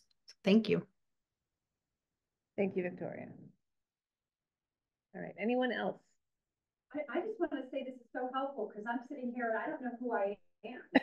and now I do. Bingo, right. I haven't been voting because I I didn't think I was executive. So this is very helpful. I'm general. I now know who I am and I know what I would need to do if I'm going to be executive council. Right. And we want to encourage everybody to come and be part of the council and to, to be part of this. And again, we're welcoming everyone. We even went to where now individuals can be part of the alliance. You don't have to be part of a partner organization. But if we're going to build this coalition, as you know, it takes a lot of energy. All right, next slide. So we will consider, Joe. can I just, uh, I guess maybe for process from council, I need a motion to accept just first reading on the policy, and then we'll bring it back with any changes in October at our second uh, next council meeting. Thank you, Emily. We have a motion to accept and Mark second. Any further discussion? All right, this is still a working draft. Take it back to organizations and give feedback. I'm gonna turn it over to Mark now, and he's gonna highlight our budget, which is the other item executive council needs to focus on. Um, well, happy to be of assistance. And, uh, go ahead, Vince. Oh, we did. Oh, vote. you know, thank We you, moved Robert. it. Rule. Thank you so Mm. much here. Yes, thank you. I'm going next thing here. Thank you. So all those in favor, motion by saying aye. Aye. Aye. Aye. All those opposed. I feel better. Thank you. You have to Good. keep me in check because I get so excited. I'm ready to move on to the next Dot thing. i. So, Thank That's you. us. Um, so I, I'll, I'll try to be brief. This is also kind of a first reading of the budget. Um, we'll do formal approval in October at our meeting then. But this is to kind of create the sort of general outlines of where we, where we stand and how we're thinking about things as, uh, you know, we plan the year. Um, this is just a one-page summary. I have, there's more detailed notes in your, uh, packet for the meeting today that I could speak to if you'd like. Um, I would just point to a couple of key things. Um, note that, uh, well, first of all, before I, I used the figure, we're currently at $487,000 in net assets, but we were really budgeting towards 384 this year. And we will be, and as I said, the, the big hit of income came at the beginning of the year, and we're kind of working that through. And notice that we're projecting a budget of 306,000 so that's, uh, it's a decrease. But we have not yet built into this, uh, we don't know if we get that NOAA grant or not. Um, and that will, as I said, has some transformative impact, much of which will, will go towards, if we, if we get it, towards program. If you look at the expenditures down here, uh, two hundred four thousand this year, down to hundred six thousand next year if we don't get the NOAA grant. And, uh, and we tried to build into the thinking, as Ted was saying before, around that NOAA, uh, proposal, um, to not have scarcity thinking govern how we think about things. So that's, that's, uh, a large point to make here. Um, one thing to note also is on the revenue side, um, that this year budgeting seventy-two thousand in sponsorship, and that goes down to eleven thousand this year, and we'll hear about this in a second, is the Congress. And so we build that into our thinking for, uh, events and how that, uh, affects income and expenses, uh, in a given year. Um, the, uh, other than that, a couple of things just to point to down in here. Um, the contractor line goes up a bit. And in general, we're really trying to put resources towards the operate, the, the helping, having the alliance, uh, work and function for everybody. Um, the amazing job that Laura does, uh, assisted now on the, on the, um, uh, call is, uh, Lake as well. Uh, we get, we are very well served by Maria Sadowski and, and marketing assistants. We also are very well served by Friends of the Forest Preserve, Cook County Forest Preserves, who are our fiscal agent. Um, so this represents a, a modest increase. And we also, I think everybody should know that we are, uh, we have set aside and invested in the work that Ted is doing and in the work that each of the leads of each of those um, goal teams uh, takes up. That there are uh, stipends are set aside for the leadership role on those teams. We know that that um, that can be wearing work at some time at points and and the difficult, challenging work, uh, but rewarding work of building partnership. We want to make sure that those investments are are represented. So that that's the basic outline. I, I just thought I would also just say, just generally speaking, should the NOAA work be funded, you can expect to see that we would be able to invest in a lot of the climate action plan for people and nature, including uh, some of the work with tribes and community organizations. Um, we would be making some significant investments in the in the hub, um, which is our geospatial um, work that undergirds and tracks and supports the work of each of the goal teams. The, um, we would probably see some, uh, we've, we've set aside funds for, uh, development of our, our further work on, uh, uh, JEDI, justice, equity, diversity, inclusion, including a bilingual communications coordinator. Um, so we, we're, we're really seeking to make those investments uh, and seeking the funds to do that, but we, at the moment, don't have the funds to budget it. I'm hoping that between now and the end of October, we'll have a, a, a, a different number at the bottom here. But um, that's that's where we stand now, and I'm happy to take any questions. All right, Thank you, I'll Mark. roll on. Any questions uh, for those remote? Okay, with that, so are you going to take a motion to move the treasure, uh, the proposed budget, Mark, the Yeah. treasurer? Okay, thank you. Do I have a second? Second by Vince. All right. Any further discussion? All those in favor? Motion by saying aye. Yeah. Wonderful. So this Great, is, thank you. again, that is draft. You'll see it again. We hope to see changes, but the key pieces we're mapping, uh, and not to, uh, to, to go over to emphasize, but there is an annual investment that CW is making with our fund reserves. It's going back into the programs. We're going back out to our partners to lead a lot of great things that you're going to hear about. And um, we are very well and sustainable in our partners, and, and we have a big vision to accomplish a lot. That's why those grants are really key. And um, it's exciting times uh, for that. All right, so, which is a big project here. So I'm going to turn to Victoria to talk about Congress. Thank you, Elizabeth. Um, yes, we have our biannual conference, which is um, our Congress happening on Friday, November 15th at Pur- Purdue University Northwest's Hammond campus in Northwest Indiana and have a suite of committees that have been working really hard behind the scenes on a number of fronts. One of those is simply planning the day of the of the event. Another is soliciting and reviewing proposals that were submitted to populate the content during the day. There's also a team focused on ensuring the welcome and introduction during the plenary session is captivating, inspiring, and builds energy and momentum for the day. Um, in addition, we're working on field trips, companion field trips that will take place the day before Congress on November 14th. Um, currently in development are two bus tours, one of conservation areas in Northwest Indiana and another of the Calumet Lakes areas in Southeast Illinois or Southeast Chicagoland, pardon me. Um, and yes, we are um, building this all on the theme of stronger together. Our Chicago Wilderness Alliance region is more resilient through the strong partnerships that we have. And so that's our spotlight. Um, we're also making an effort to put a spotlight on the incredible work that's been undertaken in the Calumet region of the Alliance footprint um, for a variety of reasons.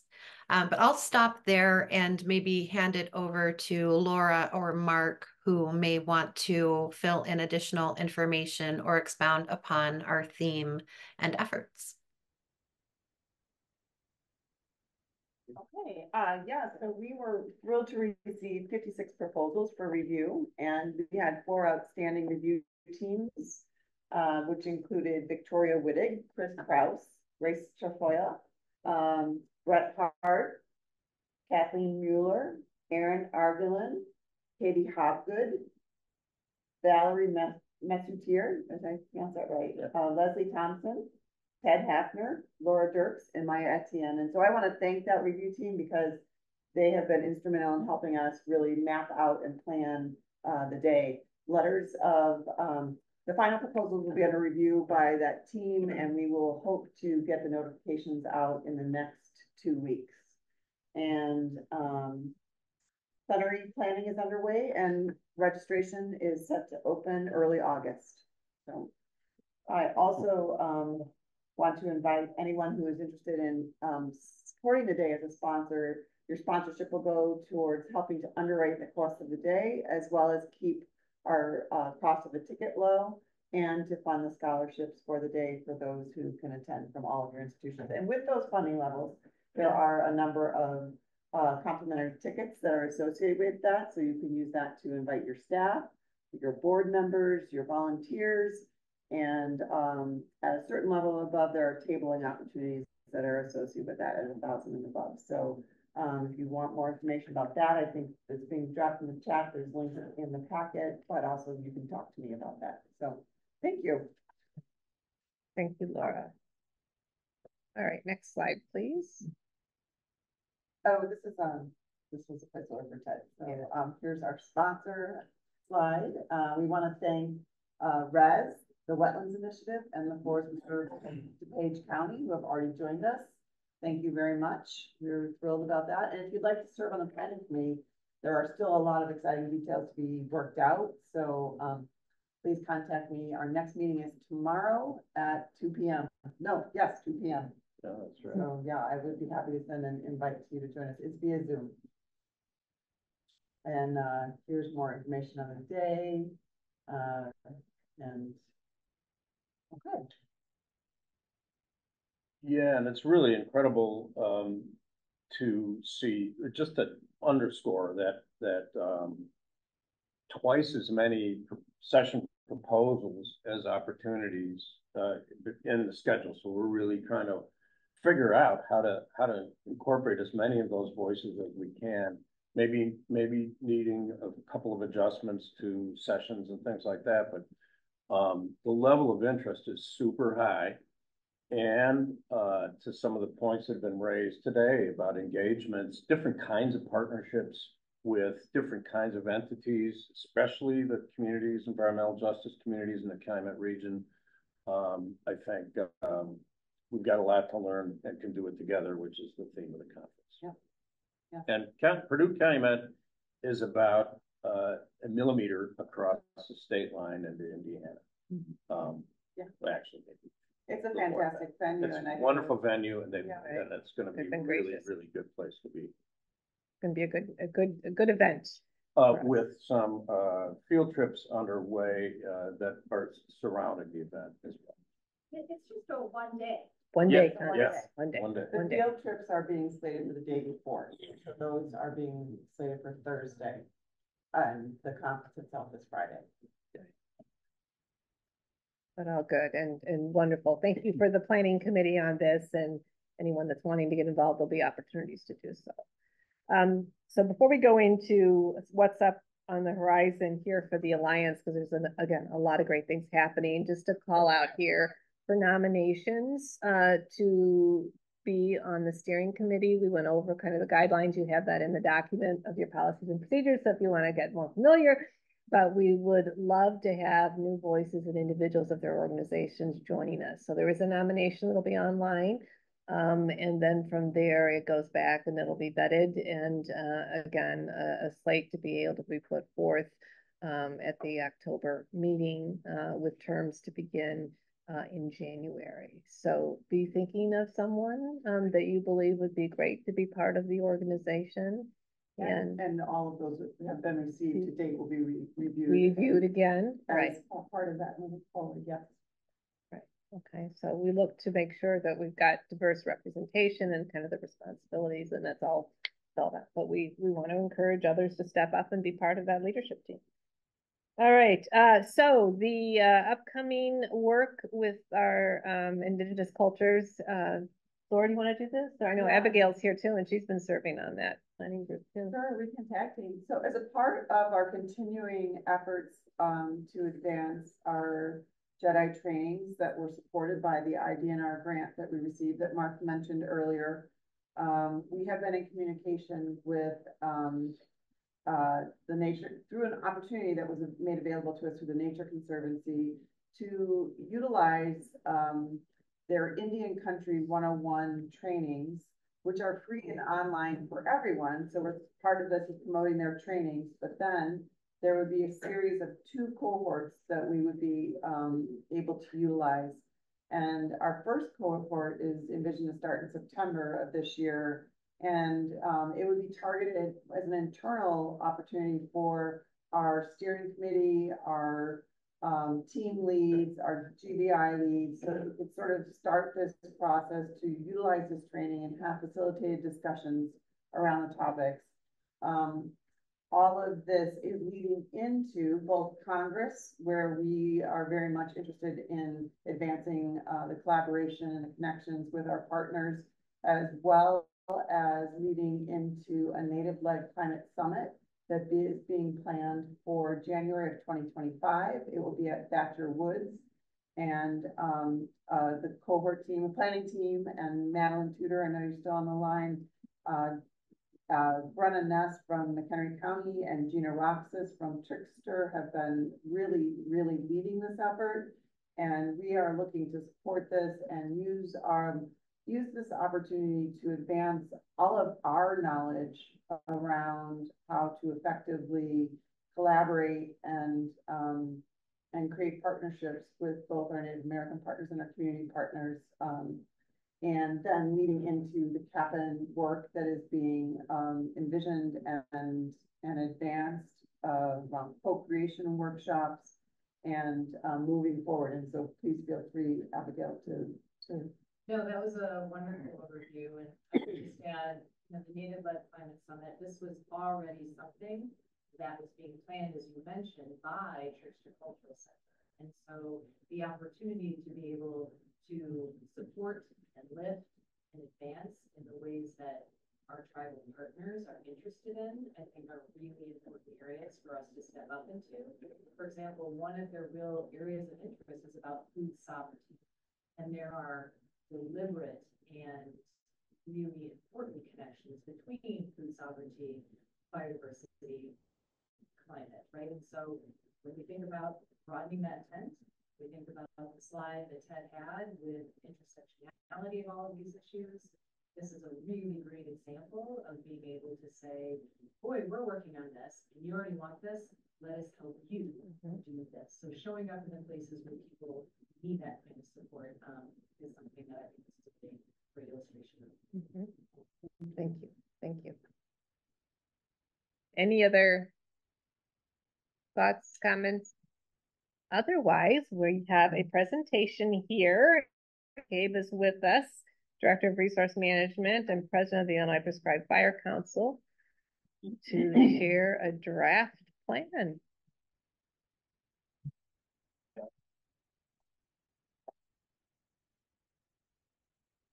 Uh, good morning, everyone. Almost afternoon.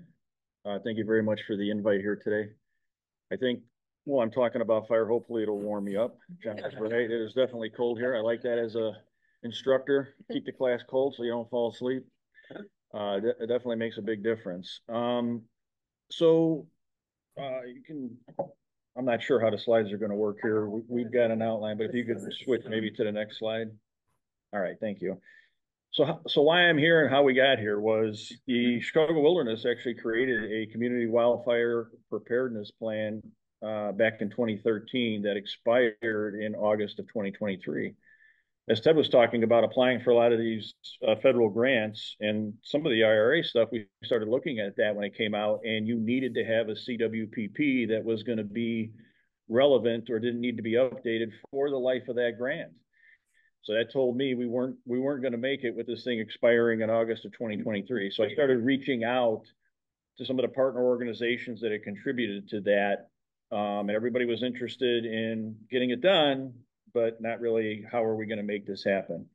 So I agreed to sort of take the lead on that, both in my role as the Director of Resource Management at the Forest Preserves and then also as the President of the Illinois Prescribed Fire Council. I thought this would be a good experience for me, and, and it has been. So working with the groups, I wanted to make sure that we kept the CW stay under that umbrella. We wanted we wanted that recognition, that acknowledgement. So I started, I talked to Pati Vitt, uh, my colleague at the Lake County Forest Preserve, who is the chair of the Managing Healthy Landscapes Group. So she was the, the, the, the champion for us here with Chicago Wilderness getting in the door. Great excitement with that team. Then we came to the executive council and we were looking to try to figure out the funding piece on how to make this happen. Um, so everybody was really excited about it, but we just couldn't figure that out because of all of those different connections. So at that point, I just decided to take that on in my role as the Forest Preserves of Cook County. Former General Superintendent Arnold Randall supported that idea, and so that, that piece was addressed there. Then putting together a working group. So as you can see on the slide here, uh, I was able to pull a, a, Blues Brothers and and get the two original authors. So we were able to put the band back together with Steve Creech and Leslie Burns. Uh, most of you probably know Leslie, who was uh, DuPage County Forest Preserve and Lake County Forest Preserve. She was also on the Illinois Prescribed Fire Council. She was she was great to add back to the team. Steve is a uh, Indiana DNR person who has a lot of experience on the federal level. Uh, so having having those two folks on there was great. As far as the GIS component, we brought in Lindsay Darling, who I know a lot of you probably know through her work with Chicago Regional Tree Initiative. Uh, uh, she did a phenomenal job for us uh, with this working group. Brittany Balmer, who also works on my team, uh, also played a key role in, in, in the writing of this document. I also have to give a quick shout out to Living Habitats, Heidi Natura's team. That's the consultant we worked with that uh, I have a contract with under a, a, larger contract that we manage at the Forest Preserve. Uh, next slide, please. So when we started to um, develop the plan, we were just looking to do a quick update. It, and the other thing to understand is um, it, it only covers the six counties you know, uh, which is on the next slide, but I just want to make that point because part of the initial conversations we had early on with the with the working group, the Healthy Habits uh, Landscape one, and the Executive Council was, could we do this at a larger scale? And I think this is a model now that we have in place when we get more funding through a larger grant. That that's the plan. So I just want to make that point clear. Um, but as we started to move forward, we realized that we couldn't just do a revision and basically we had to sort of rewrite this plan the idea was to, um, you know, keep it simple and get done before the plan expired in August of 2023. And where are we at now, right? So the best plans is, as we've heard several times today, you got to be patient. You got to keep working at this. And I feel like we did that. And we, I feel like what we're presenting here today is a, is a really good document. And really, to be clear, what I'm here for today is wanting to get the official sort of, we support this document, we're behind it. Um, so we can keep that Chicago wilderness uh, as part of the title of this document. All right, next slide. So real quick, just so you understand what the goals of this document are and, and why we put it in place. So this is sort of a unique document for urban areas, really. It, it's really something that you see more out west or where you really have a what we call a wildland urban interface, where you have people building their homes in the middle of fuels that are going to burn and potentially burn their houses down. So for us, when this document was put in place a number of years ago, it was a it was a unique situation. But it's key to being able to apply for a lot of these federal grants. You you need to have the CWPP. So when we started to look at this again and identify what the risks were based on that wildland urban interface, we realized that we were going to have to make some changes based on the amount of development that's occurred even since this document was first put in place back in 2013. And so our real main focus ended up coming on three sort of key components. One is the smoke impacts. Two is the change in climate change since this document was originally put together. Not that most of us in this room didn't believe it then, but we certainly believe it even more so now. And then the, the third piece is that disadvantaged community piece that, again, Ted mentioned in the federal grants, a lot of times you have to have that component in there. So that was a focus of our revision on this particular document. You can see the goals on the slider. I'm not going to read all, all those for you. It's pretty basic stuff. Anyone who's who's aware of the fire piece. The other key thing I want to point out real quick, this is a sidebar for anyone at the county level that has a hazard mitigation plan that you're a part of or your organization's a part of. The other cool thing is I'm I'm part of the working group with the larger Cook County. We're tying this plan to the bigger hazard mitigation plan. It's another avenue for funding to be able to do work related to fire. So you can tag this on to something and again, make another connection for funding, which is going to be critical for all of us. All right, next slide. So this is the six counties that are involved in this. And I, I feel strongly that we have a, a, process and a model now that when we go out for this larger scale grant for doing some of the work that's indicated in this document, this will be one of the pieces we can add on is expanding the CWPP to other counties, other groups that want to be part of this. All right, at this point, I'm gonna switch to the next slide and turn it over to uh, Lindsay Darling. The rest of our team should be on here, even Steve Creech, who's in the Badlands. So, hello, uh, I'm going to talk a little bit about the methodology that we use in this project. Um, so our first thing was to identify layers that show wildfire risks, hazards, and values. And I'll define those all a little bit more later. Then we use GIS to combine these layers to show level of concern across the six county Chicago region. So for risks, can you go to the next slide, please? These are areas where human activities have the potential to result in wildfire. So to identify these areas, we use historical fire data from January 2013 to December 2022. These data came from the National Fire Incident Reporting System we found that there were over 23,000 fires in that decade. We geocoded those fires to the zip code scale and then calculated how many fires occurred per acre. We then categorized areas either having high, medium, or low fire risk. Next slide.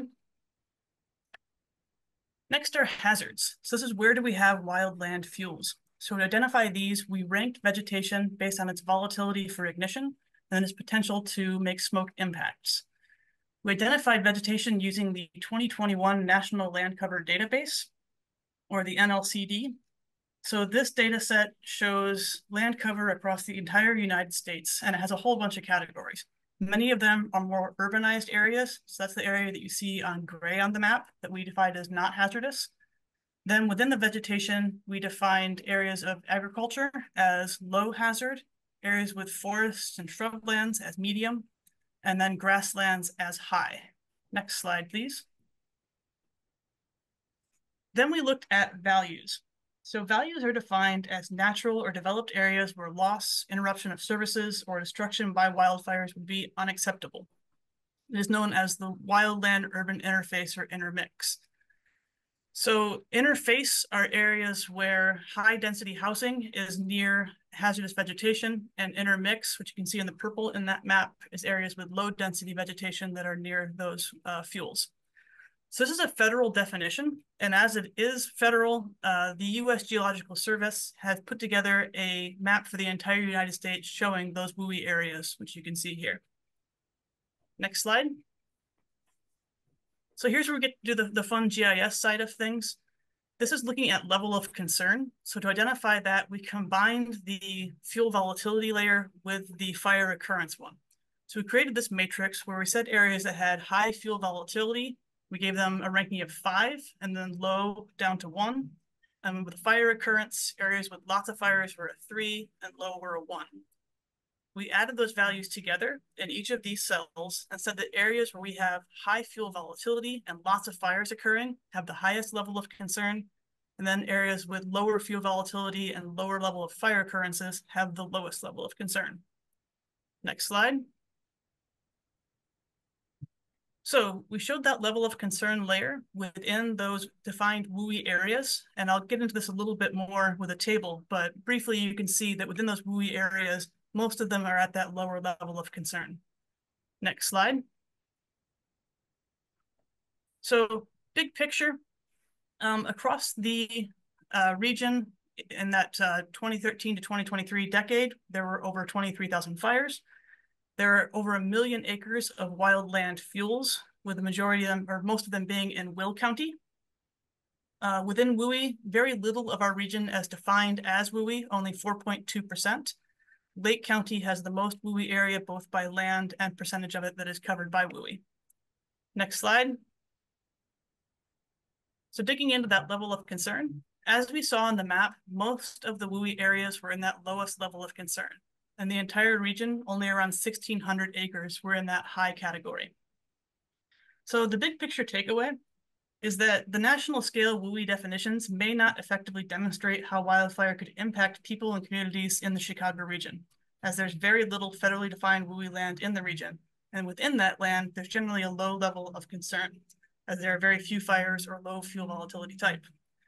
So in urbanized areas, uh, while many of our communities and properties may not be directly impacted by fire, we contend that they may be impacted by smoke. And with that, I'm going to pitch it over to Stephen Creech. Uh, it's still morning, uh, at least out here uh, from interior uh, South Dakota, uh, just uh, outside the Badlands. So, um, most of you will will remember that um, last summer, even Chicago was impacted by smoke from uh, fires up in the Canadian provinces.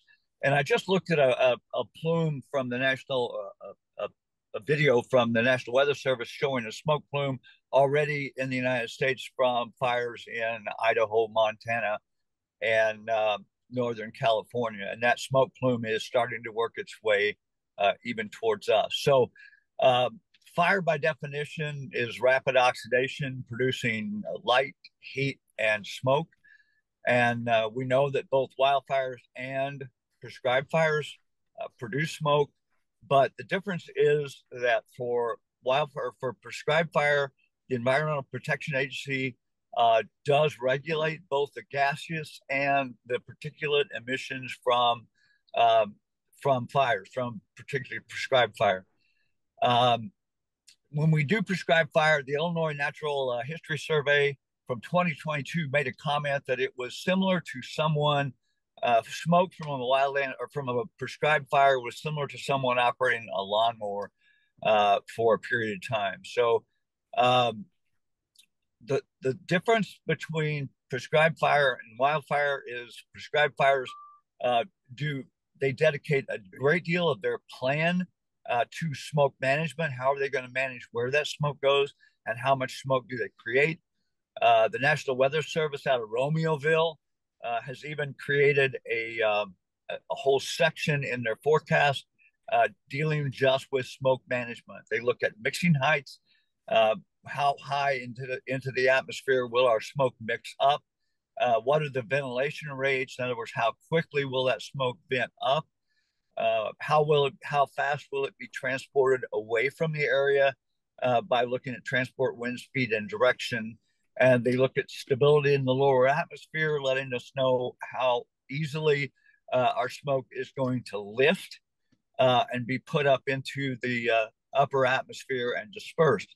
So we look at things like um, the all these things come together basically to help prescribed fire minimize smoke impacts to people. But if you look at the the wildland fire side, uh, those fires don't occur on ideal weather days. They don't um, they don't necessarily follow the rules of order uh, that the EPA has established for for gases and particulate emission.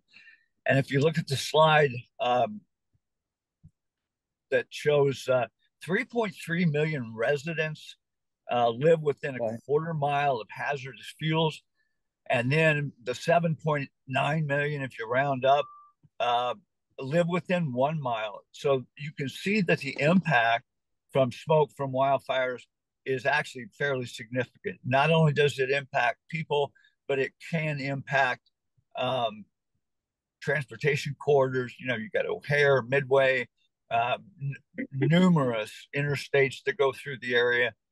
Um, we, then we went on to look at smoke tends to impact uh, disadvantaged communities in a, at a greater degree than they do normal, you know, the the the less um, disadvantaged communities because those communities have higher rates of respiratory diseases uh, and they're less likely to have uh, good uh, heating and ventilation, heating, air conditioning, ventilation systems to help filter that air down. Uh, one more point, and then I'll step aside, and that is to mention that um, this is not just a, even though it's a localized area, six counties in the Chicago area, uh, but we expand, when we expand this out, it will include, it can include much of the state because what John and the group has done is created a template that anyone could take and uh, create their own CWPP. So uh, I know Ben Snyder, who's the fire uh, uh, supervisor from Illinois, is on this uh, call. And uh, I, we're hoping to get Kenneth Jolly, the state forester, to sign off on this plan as well. So with that, thank you very much. And so long from the Badlands. All right, next slide, please, and Leslie Burns is gonna. Sure, I'm going to talk about um, what we developed as this action plan table. Um, and um, all of our action plans revolve around three things fire occurrence and reporting, uh, management of fuel loads, and wildfire response. Um, most of our occurrence data came from this National Fire Institute reporting system, NFIRS, where the 23,000 records came from across the, the last decade. Um, that unfortunately, data can really only be used as occurrence data. Um, we know from that data we have a wildfire on a particular date in somewhere in this location. And that's about all we can gather from that data. And it would be nice if that data was a lot more complete, um, better location, the, even just the size of the wildfires. You know, we don't know if these wildfires are a few square meters or, you know, 25 acres. There, there's just no way to tell. So we would like to see um, the fire departments do a better job of putting in that information. And the second part is there's a lot of missing data. If a wildfire occurs on some of the agencies and the agencies are responding to that wildfire, um, that doesn't get put into the, the NFIRS data. So the 23,000 is probably an understated number. So that's one of our first um, uh, questions. I also want to throw in there IDNR under the Forest Resource Services has a mobile app for uh, wildfire. Um, we'd like to see that picked up by more entities and then develop a way to report those um, fires into the, the national database. As far as management of fuel loads, um, it would be increased funding for mechanical or prescribed fire in high level of concern areas so we can keep those fires tamped down when and if they do occur. Um, and then defensible spaces, creating defensible spaces in our, our preserves, uh, mostly through a, a, better master planning um, would be ideal. And last is our wildfire response. Most of this involves um, cross training for structural fire departments and fire protection districts. Um, the Illinois Fire Service Institute offers um, what's called a G130 190, which is based on the National Wildfire Coordinating Group, um, basic wildfire, wildland firefighter um, training. Um, to get more funding, that local fire departments have more of their personnel go through that um, training. Um, and then cross training, bringing those folks out to prescribed fires so they actually get on the ground experience on how to deal with wildfires so that the proper response when wildfires occur actually happens. Um, uh, next slide. And I'll just kind of wrap this up. Here's that uh, disadvantaged communities area and wildland in interface, urban interface. Um, so this was another part of, of this new plan that we didn't include in the plan 10 years ago. Um, the last part we didn't, where I don't really have a slide in here, we did look at climate change um, using the 2021 assessment of impacts of climate change in Illinois that was produced by the Nature Conservancy. Um, I think most of you might be familiar with that document. Um, how climate change will impact our, our fire seasons. Um, it's a little hard to determine yet, um, but it will impact our fire seasons. We're likely to have a shift in when those fires can occur, when the uh, appropriate uh, conditions occur are likely to change. Um, uh, micro droughts in the summer, um, and then maybe less snow cover in the winter. So, uh, but we didn't really make predictions as to how those will affect fire yet. And I think the last, I'll kick it back to to Lindsay. Yeah, the, the last slide. Lindsay, let me make a comment real quick here to make sure Another key component of this plan was we had this smaller working group that is the folks that you just heard here, but we shared this document out a couple times with a larger working group, which is represented here. And, you know, John Peters was part of that team and a couple other folks in the fire community and some folks that weren't in the fire community, but were, were contributing based on what their area of expertise was. So I just want to make it clear that this was a very uh, inclusive process that we did go through with this document. All right, Lindsay? Yeah, just uh, since this was a really data-driven and GIS forward project, we wanted to get everybody the ability to work with these layers, even if they don't have a GIS system. So I, I put together an interactive map that has all of the layers that were in this report, um, the smoke, hazards, risks, areas of concern. Uh, you can turn those layers on and off, zoom in, um, you know, take screenshots if you need something for a, a, grant that you're applying for. So I hope this really makes this usable by a, a greater audience. Okay. Terrific. This Any- is amazing work, John. Thank Any- you. Questions?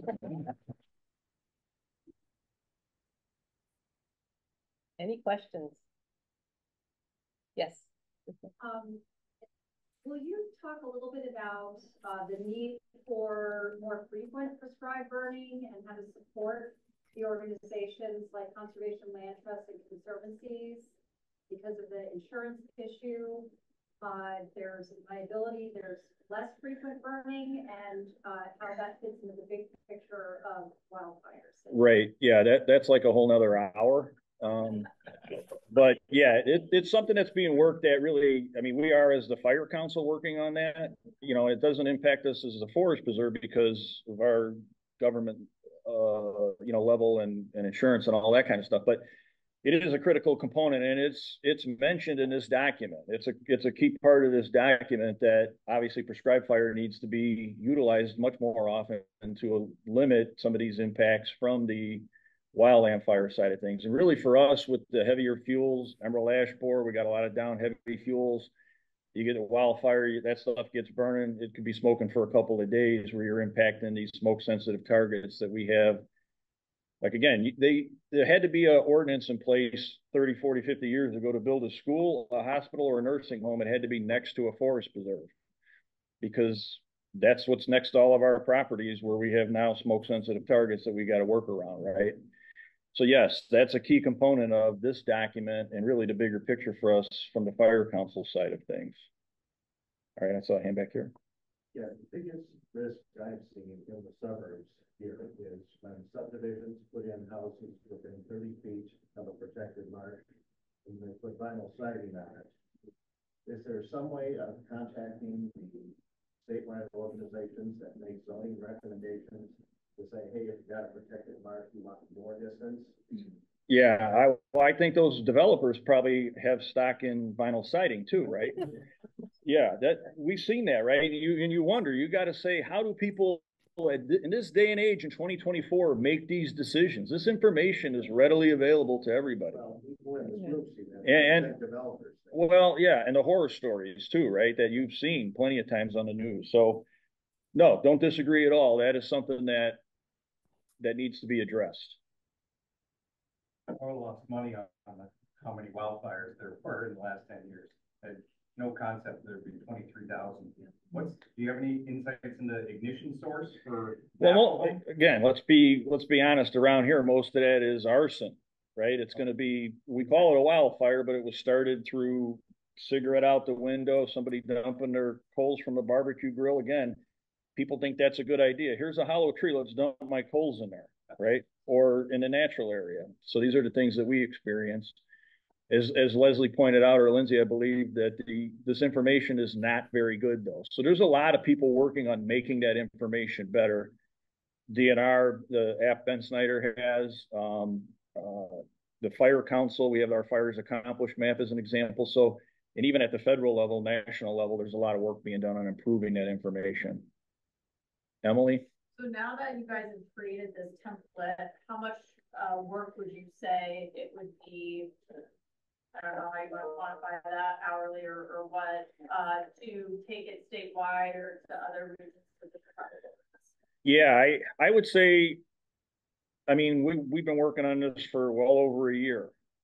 So it, it just, it's, it's the people, you, if you're doing something for like a county level, you have to have people that are gonna do the work then. So the template and the plan that we have in place, I think is good. It's just people have to then do that work, right? You have to sit down and, and work through all these things as it relates to that specific area that you're putting this plan together for. So I, I don't think if we were gonna do it at a much larger scale using this template, if you, again, two years time that you could work on something with multiple partners at a much larger scale than just the six counties. John, maybe if you're, when you're ready, if you wanna do a cafe or on that topic, then we could invite partners from around the region and, and Wisconsin, Indiana, Michigan even to take a look at. Yeah. what we've done. That would be Great. Yeah, I Yeah. similar, it reminds me of the Oak study, right? It started with a sample and then it grew as a template and you've created that now, which that can be replicated and, but everybody has to lean and put some muscle and some resources into it, so. It's awesome. So, so today, again, thank you. You have this as a draft for approval. Um, and so you're looking for us to approve the document as prepared, or is it coming back, or is you want it all ready to go today? Or you, you feel it's in, in place to accept it today? I, I, Oh, question, Yeah. okay. I just had a lot of them, but it doesn't have to be part of this. Um, just kind of, what were some of the grants that you were missing out on due to this not being updated? Well, just the IRA, there's a lot of funding coming through the Forest Service for wildland fire work. And so trying to figure out a way to, again, it would be a larger grant with multiple organizations. I mean, one, we want to get more advanced training, which actually Pati Vitt has taken the lead on. I'm gonna start working with her on that. Like the burn training. So we do the Chicago Wilderness. We're looking at burn boss training related to burning in these areas. Um, fuel reduction. Everybody I talk to in the region has dead ash, has dead oaks on the ground that's creating smoke impact. So how do we get funding for that? Just training, right? This fire department across all these things that we're looking to generate dollars for from any of these funding sources we can we can find. So this is a key way. It's got the mitigation stuff in the document, which is what makes it so valuable. Even the same thing with me tying it to the HMP. I can't put it in a hazard mitigation plan if you're not mitigating the hazard. We're mitigating the hazards. We've got a lot of answers to that. So that's what makes this document so valuable. Yes, ideally we would get a concurrence from the group today. Um, I mean, there's still like, even though we feel like we've been over this a hundred times, this document, we're still making minor changes, but nothing substantive is gonna change at this point. Um, so yes, we would like the executive council to say, we support this document. Okay, that's great. That's awesome. Um, so the only other piece that I saw on it with our new branding, which we can provide to you, make sure it's Chicago Wilderness Alliance. So it's representative of our new look and, and who we are. Uh, with that though, I will take a motion. Um, do you wanna, do you wanna put a motion, and advance it forward as our lead here? Put a motion on the Okay. floor to approve this document. Thank you. Second. And Emily, we have a second. Any further discussion? All those in favor, motion by saying aye. Those opposed, nay. All right, we have an approved document. Thank you so much for the Thank you. great work. This is exactly what the Alliance, again, a perfect example. We've seen several today talked about of how uh, partners get together an idea, they build kind of the framework, and then it can be replicated and advanced to a larger scale. So thank you on that. Just a few quick announcements because lunch is here and then we do have a tour for those that are here in person. Um, just a shout out, Urban Rivers, which is one of our partners, did receive the Parker Gentry Award. So congratulations to them. Uh, July is National Parks and Recreation Month uh, across the country, but also I know Illinois has adopted that as a state piece of awareness, and I'm not sure if Indiana, Wisconsin, or Michigan has has done such, but it's great to see that there's a focus on that. So uh, celebrate that. And then uh, there are many ballot initiatives that have been advanced forward in the region um, for the general election, uh, whether it be for uh, limiting rate increase through property taxes or through bond issuances.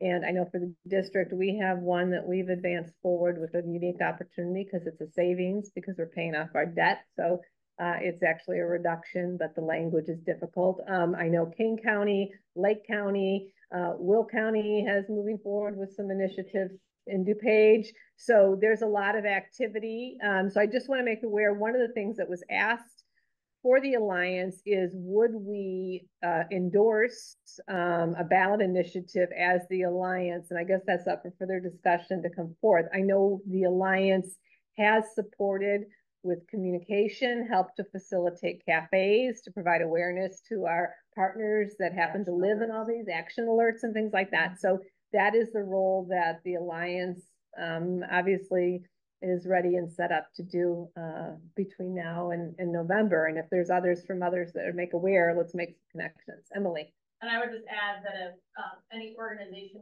here would like to endorse any of the ballot initiatives, um, will just went to their board, so they're done. Uh, but to Page, Kane, Lake, and McHenry, uh, just let me know, um, and we'll get you on our coalition list. Do you want to do an action alert for that? You should I consider do, we're not ready yet, but, Okay. um, in the Yeah. next couple of Okay. weeks. I'll be ready. I'll be waiting. Okay. And then I do want to acknowledge, and Ed Collins just entered the room here, but Ed Collins, who is a founding member of the Alliance here, has announced his retirement. And um, so uh, Ed, I have to announce that because uh, no, he's been preparing me for, for some time and I'm still not uh, uh, settling into it. But I just want to thank him for his leadership, his vision. Um, he is also a recent recipient, um, U.S. Fish and Wildlife Service Midwest Region, a Silver Eagle honoree.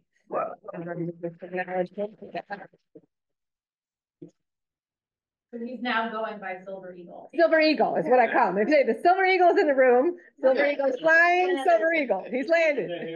And then a quick- quick announcement also to Ed, um, and it started roughly in this building is that Friends of Hackmatack National Wildlife Refuge got recognized as the Friends Group of the Year. Association, so uh, congratulations to everybody involved and it's been, been fun for me to be on this. Wow, like three hundred friends of groups across the Country.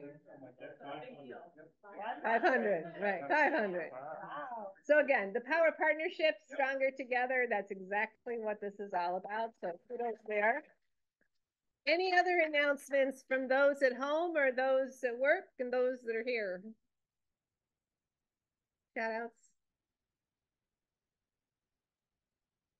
Okay, before we adjourn, I do know we have, after we have lunch here, there will be a, a field trip to the Hackmatack National Wildlife Refuge with the additional acreage. Uh, so, uh, thank you, Emily and Vince and Ed are, are facilitating that, that tour. Anything you want to highlight on for those that, uh, what to expect here in any direction before we break for lunch and adjourn the meeting? we have vehicles, right?